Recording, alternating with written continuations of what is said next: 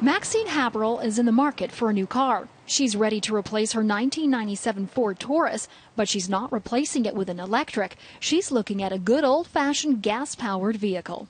I live in an apartment building and there's nowhere to plug in an electric car. I did think about it though, but yeah, it just doesn't work for me.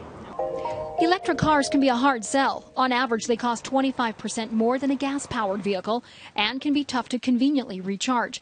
Sales were chugging along with the help of a rebate program previously offered by the BC government, but that expired last year. And since then, dealerships haven't moved many. I have heard from uh, some of our members that uh, you know they've had customers come in uh, having a look at some of these uh, potentially qualifying vehicles and have said, "Gee, you know, I'm going to wait and see when when the incentive, if it's only going to be a few weeks, I'm I'm going to hang on."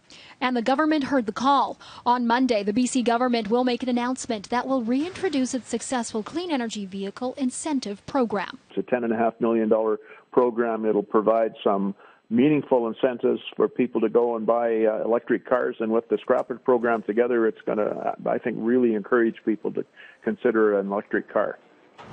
Details of how much consumers will save haven't been released, but in the previous program, electric car buyers could save up to $5,000. And combine that with the new BC Scrap It program, which gives you three grand towards the purchase of an electric car, and the savings are huge, especially if it means getting heavy polluters off our roadways core objective of the program was to make an air quality difference and reduce carbon emissions.